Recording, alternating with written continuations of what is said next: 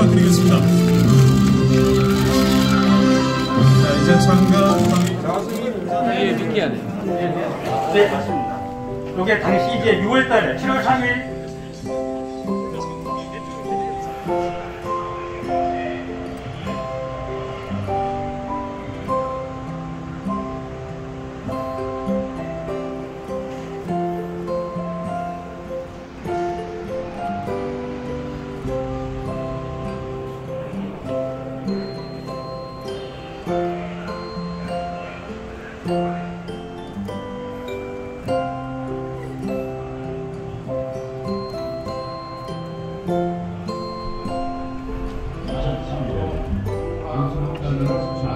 이유